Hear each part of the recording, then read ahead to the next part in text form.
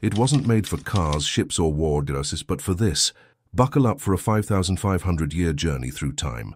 The first wheel in history from 3500 BCE wasn't for transportation. It was a potter's wheel. The Sumerians used it to craft clay pots, not chariots. The revolution began in the mud. Transport wheels emerged 300 years later and had a fatal flaw. They were solid. It took 1,500 more years for someone to invent spokes. Without them, carts shattered after six miles.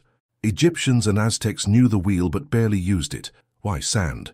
Camels outperformed wheels in deserts. In Mesoamerica, slaves carried everything because there were no draft animals.